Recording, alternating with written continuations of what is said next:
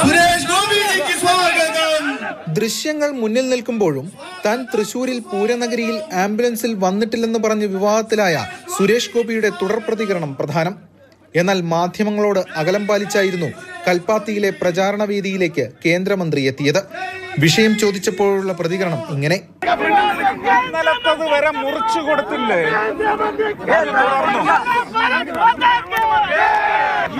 നിന്ന് മാറ്റിക്കോ. നിങ്ങളൊന്ന് ബഹളത്തിൽ നിന്ന് മാറ്റിക്കോ. തുടർന്ന് സ്ഥാനാർത്ഥി സി കൃഷ്ണകുമാറിന് വോട്ട് തേടി പ്രസംഗം. പാലക്കാട് ബി ജെ പിയും കൃഷ്ണകുമാറും ചേർന്ന് അങ്ങ് എടുത്തിരിക്കും. പാലക്കാട് എടുക്കുന്നത് വഴി നിങ്ങൾ തന്നെ ഞങ്ങളുടെ ഞങ്ങളോടൊപ്പം തോളോട് തോൾ ചേർന്ന് ഈ കേരളം തന്നെയായിരിക്കും എടുക്കുന്നത്. അപ്പൊ നിങ്ങളുടെ രാഷ്ട്രീയത്തെ നിങ്ങൾ മറക്കണ്ട. പക്ഷെ വോട്ട് രാഷ്ട്രീയത്തിനല്ല രാഷ്ട്രത്തിനാണ് എന്ന് പറയുന്ന പുതിയ നിശ്ചയം നിങ്ങൾക്ക് വേണം. അത് ഒരു തവണത്തേക്ക് ശ്രമിക്കൂ. പാളിയാൽ വേണ്ട. മുൻപ് തൃശൂർ എടുക്കുമെന്ന് പറഞ്ഞത് വൈറലാവുകയും പിന്നീട് എയറിലാവുകയും ചെയ്തെങ്കിലും ഒടുവിൽ യാഥാർത്ഥ്യമാക്കിയതിന്റെ ആത്മവിശ്വാസം മുഖത്ത്.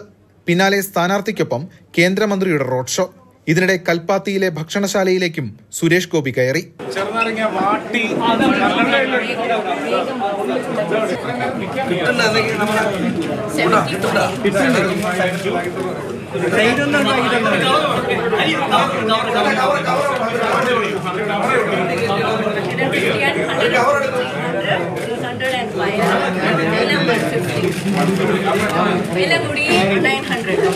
ഇഷ്ടഭക്ഷണവും വാങ്ങി മടക്കം പാലക്കാട് പിരായിരിയിലും പരിപാടി ഉണ്ടായിരുന്നെങ്കിലും മാധ്യമങ്ങളോട് പ്രതികരിക്കാതെയായിരുന്നു പോക്ക്.